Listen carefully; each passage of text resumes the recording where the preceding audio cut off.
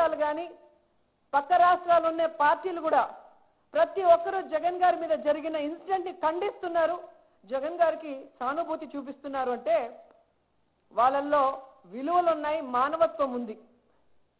కానీ చంద్రబాబు నాయుడులో మానవత్వం లేదు. ఆయనకి విలువలు లేవు. అందుకే ఈ విధంగా వెటకారంగా వికృతంగా మాట్లాడుతున్నాడు.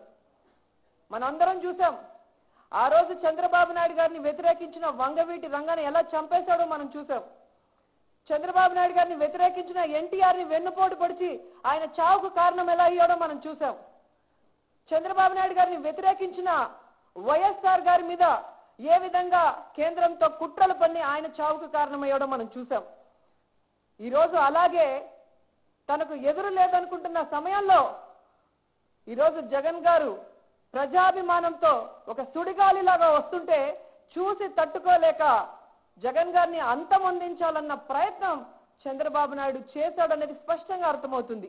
అందుకే ఈరోజు మేము కేంద్రాన్ని కానీ న్యాయస్థానాన్ని కోరేది ఒకటే.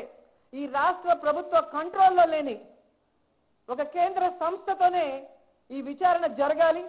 దీని వెనుకున్న నిందితులందరూ కూడా బయటికి రావాలని కూడా కోరుకుంటున్నాం.